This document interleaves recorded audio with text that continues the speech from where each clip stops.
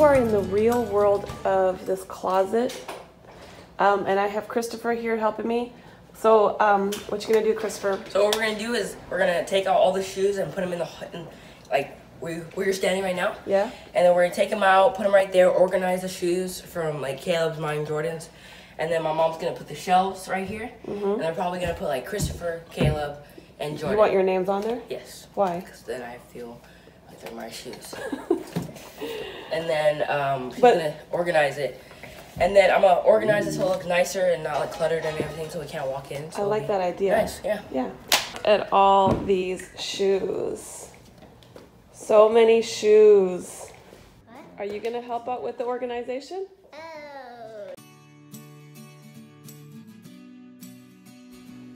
Hey everyone, and welcome back to my channel.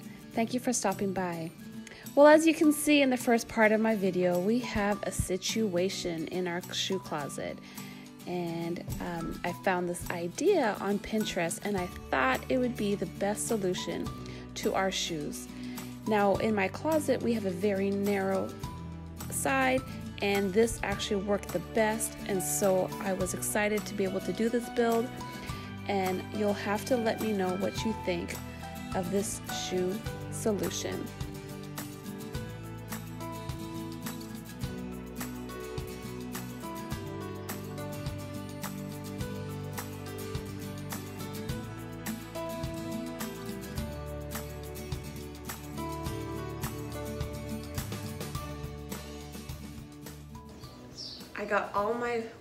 Cut down to size. So what, what I ended up doing is I went to um, I went to Lowe's and I got a six foot piece and I'm, I'm never good at describing what type of wood it is. I think it's pine. I really don't know. I probably should take better um, I should probably look better. But they're about three and a half inches wide and they're six feet long. Now, when I was looking for a good piece, I found that the longer pieces were way more warped than the shorter piece. So got so I was able to dig out three of the six foot ones that didn't look as damaged. I got four foot um, planks. I had better luck finding straighter boards in the four feet. I cut my six foot um, long strip into three foot length. So I'm gonna, this is the bottom piece.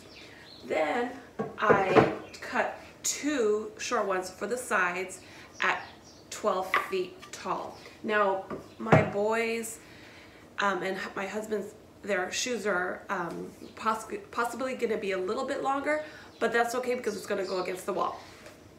Then I found, I got lucky, and I found these, and I kind of forgot that these were here at the house, so I didn't have to pay anything for these. And again, um, I have no idea what this one is, and um, it was just some scrap that we had here for a different project. We didn't end up doing it, and so it was kind of left over in my beautiful stash over here. And so I gave it a good sand, and these I cut um, to, it was just a little bit more than 37 and a half feet. It was just like that one line over. Now, what I did to measure is I put my bottom piece in and I put both sides so I can get the exact, exact measurements without doing the math. It's like a cheat way of doing it. And then I'm gonna go ahead and just set it up there. So I'm gonna go ahead and pre-drill the holes.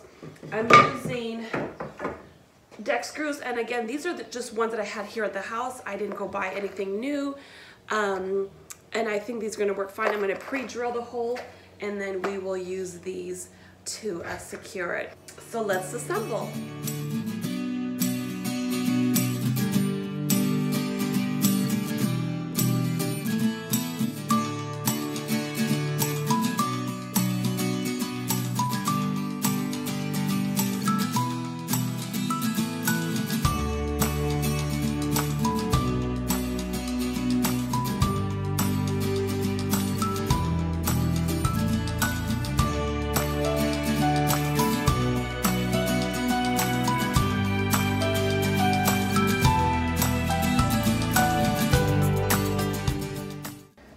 switched up to my Milwaukee drill. It's way, way more heavy duty than my little cordless drill here. I think this is more for small, smaller projects. And um, so I switched out to my Milwaukee.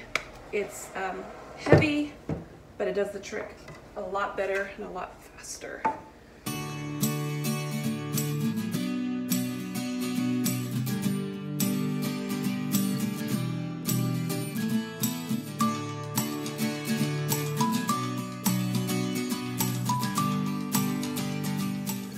So to measure my first, my first front piece here, I went and grabbed a pair of shoes and one of the bigger pairs of shoes so that I know how much space.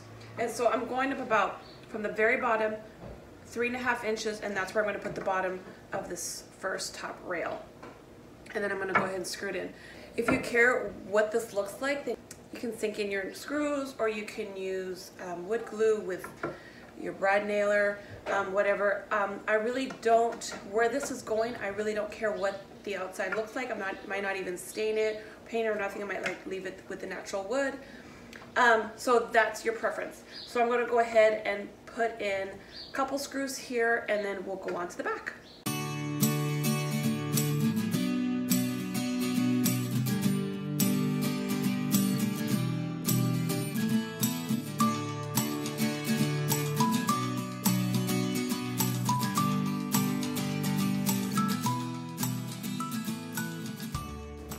Almost done. Well, basically at this point, you may not even have to put it back if you don't want to, um, depending on where you're putting it. I might go look and see how I like it like this, and we may be finished. All right, so I'm gonna go with my plan B. It actually worked out perfect. I kind of went and looked and measured it on the wall. I'm not going to put a backing on here, so that means I have more wood to make more of these. Um, we have a lot of shoes and everybody, I mean, we all wear them. My boys like to change up their shoes.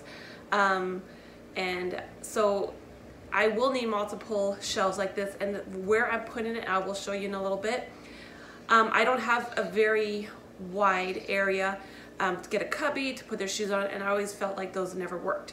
So I'm loving this idea and I'm loving how this will just go right up against the wall. What I might do is I might go back to Home Depot or Lowe's and get like a little hangy, um, maybe like a picture hanger thing. That way I can just um, put some screws or some nails depending on what I find in um, and just hang it like that, like it's a picture hanger.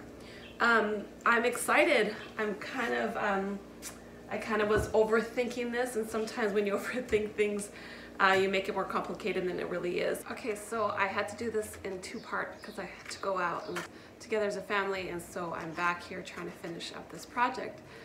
I, I got these D-ring um, from Lowe's and all I'm doing is I'm going about two inches down and I'm gonna just go ahead and, and um, put them in the, um, the back, the back part of this. And then I will show you how I mount it on the wall.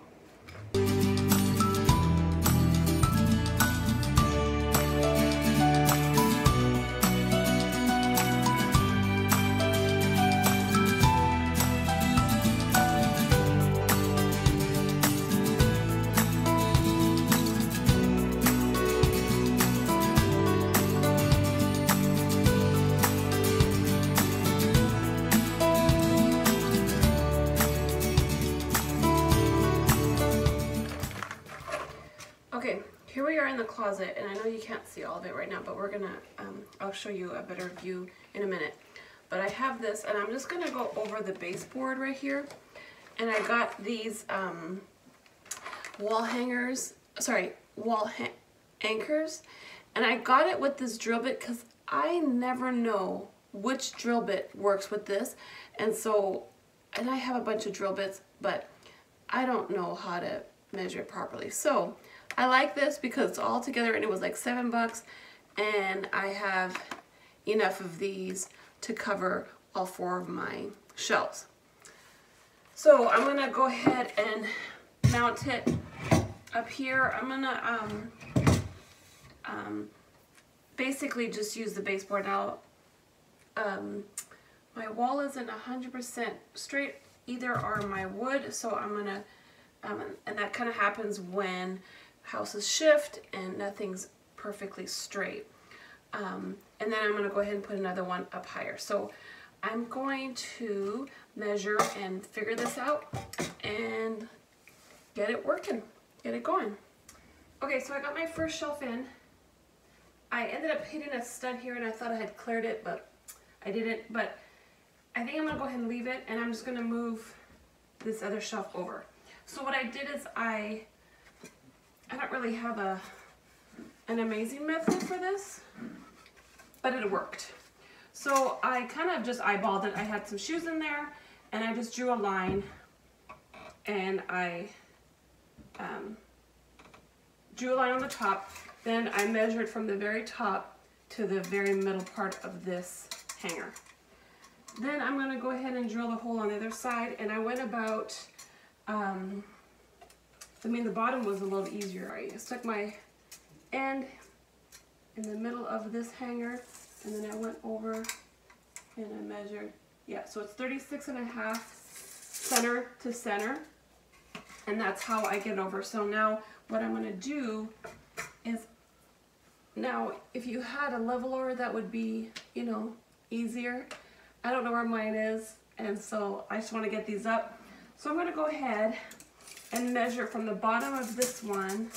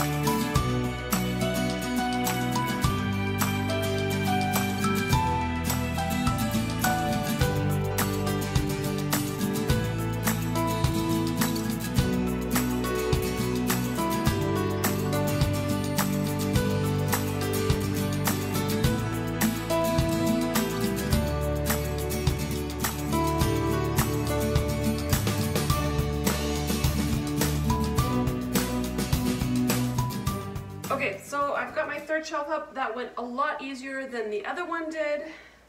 Um, you get smarter as you do more. So I'm gonna go ahead and put this on the one on the other side, kind of off to the side. Christopher did an amazing job in here, clearing everything out, and he put up this curtain.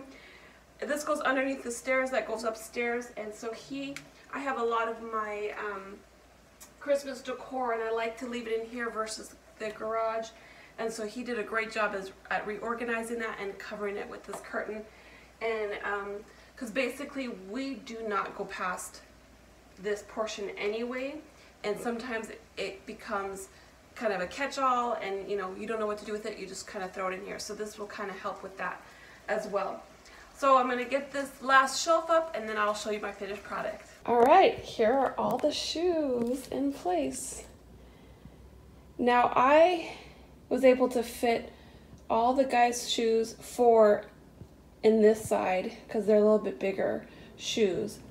And then I, on this side I have my shoes and Jordan's shoes and I was able to fit a little bit more um, obviously because we're we're smaller. Um, my flip-flops actually was able to um, put them in side by side. So if you have a lot of flip-flops since this summer, you can just stack them in there. So you can make these as long as you want. Tell me what you think. I'm loving this method. Now, the question is, will they keep it this way? We'll have to do a follow-up in about a month, maybe even a week to see how this holds up. Let me know what you think. Thank you for stopping by. Have a wonderful week and we will see you soon.